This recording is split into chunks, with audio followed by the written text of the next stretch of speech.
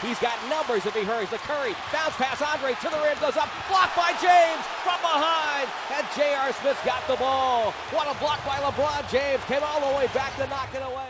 One of my all time favorite sports moves. LeBron James, at one end of the court, takes a shot and misses. The ball bounces out to Iguodala. He races off on the other end to make an easy dunk. LeBron, realizing that he's probably the only one on the court that can block that shot, races the entire length of the court and leaps up above Iguodala and blocks the shot at the very last second. LeBron knew he could do it. He blocked the shot. You know, sometimes people do bad things. What if I knew that I could block the shot? Would I be able to come up with that extra effort to do it? Let's say somebody's planning to do an Avera. They plan to do a sin. And you know what the sin that they're doing is? They're going to hurt me. So you know what I could do? I could block the shot. Let's say they're planning to steal from me. So lock the door. Don't let them steal.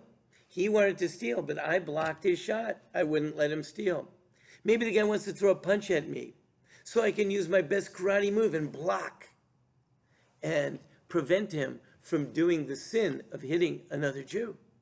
And I blocked the shot.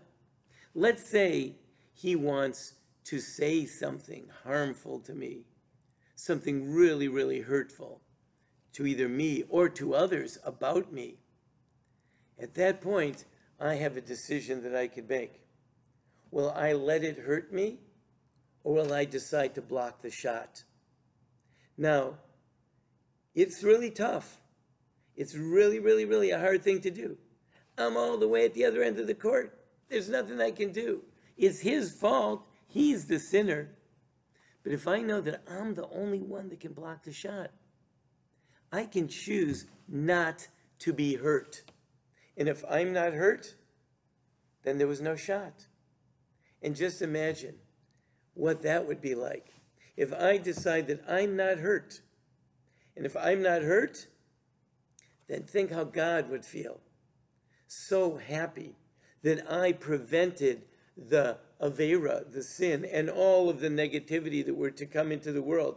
I prevented it from happening. Now I'm feeling certainly pretty proud of myself too, because I avoided all that pain and I put out that effort and I didn't let it hurt me. The whole world is really pretty happy with me also, whether they know it or not, because I kept all that negativity out of the world and made life better for everyone. And you know what?